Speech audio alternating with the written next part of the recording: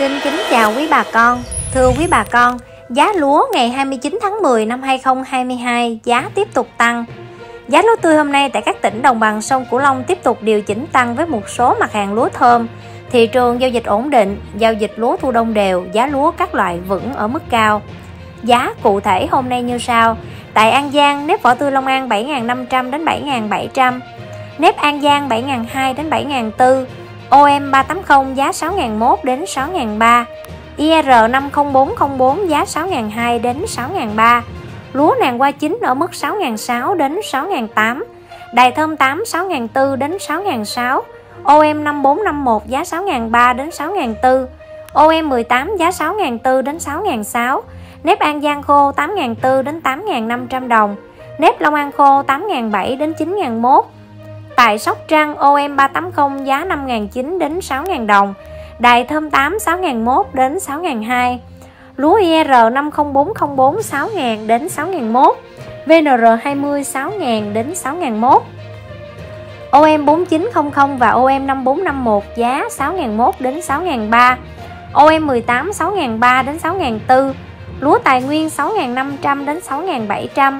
RVT 6.800 đến 7.001 USD 24 7.000 đến 7.500 USD 25 7.400 đến 7.700 Tại Vĩnh Long, Trà Vinh IR 50404 giá 6.001 đến 6.002 Đài thơm 8 6.004 đến 6.006 OM 5451 giá 6.003 đến 6.004 OM 18 giá 6.004 đến 6.006 Tại Cần Thơ OM 380 giá 6.001 đến 6.003 IR 50404 6.001 đến 6.300 Lúa nàng hoa Lúa nàng hoa chính ở mức 6.600 đến 6.800 Đài thơm 8 6.400 đến 6.600 OM 5451 6.300 đến 6.400 OM 18 giá 6.400 đến 6.600 Lúa Jasmine là 7.800 đến 7.900 Tại Đồng Tháp OM 380 giá 6.001 đến 6.300 IR 50404 6003 6001 đến 6003 nha bà con.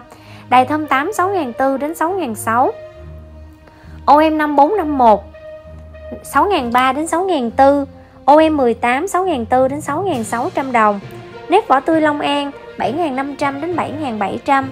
Tại Kiên Giang, lúa tươi IR 50404 là 6000 đến 6002.